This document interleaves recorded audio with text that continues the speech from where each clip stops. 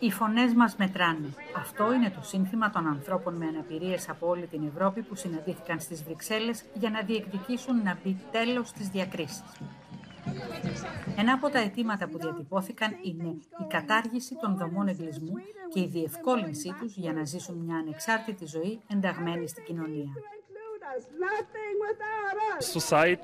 Η κοινωνία βλέπει τους ανθρώπους με αναπηρίες ως παθητικούς δέκτες της προνοιακή βοήθειας. Um, Αυτό διαμορφώνει τον τρόπο με τον οποίο λειτουργούν τα συστήματα. Πρέπει επιγόντω να απομακρυνθούμε από συστήματα στήριξης όπως είναι οι δομές που μας εξωθούν να είμαστε παθητικοί um, δέκτες. Έχουμε ανάγκη μορφές στήριξης που να μας ενδυναμώνουν, όπως το να έχουμε προσωπικό πορτοφόλι και προσωπικό βοηθό. Το να έχουν τον έλεγχο της ζωής τους σημαίνει συχνά ότι έχουν τη δυνατότητα να βγουν από τα σπίτια τους και να ενταχθούν στην κοινωνία. Κάτι που μπορεί να ενισχυθεί με τους προσωπικούς βοηθούς.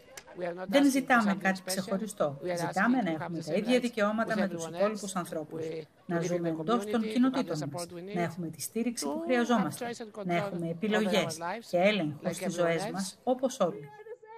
Η διαδήλωση του Ευρωπαϊκού Δικτύου Ανεξάρτητης Διαβίωσης πέρασε κάτω από τα γραφεία της Κομισιόν και κατέληξε έξω από το Ευρωπαϊκό Κοινοβούλιο. Αυτό που ζητούν από τους ευρωπαϊκούς θεσμούς είναι ένα σχέδιο για τις ζωές τους. Το θέμα δεν είναι απλώς να πάρεις ανθρώπους από μια δομή και να τους ρίξεις στην κοινωνία. Δεν είναι αυτή η πρότασή μας, γιατί πολλοί άνθρωποι θα καταλήξουν να επιστρέψουν στις δομές. Χρειαζόμαστε στρατηγικό σχεδιασμό με χρονοδιάγραμμα, χρηματοδότηση, ανθρώπινο δυναμικό και τεχνικό εξοπλισμό.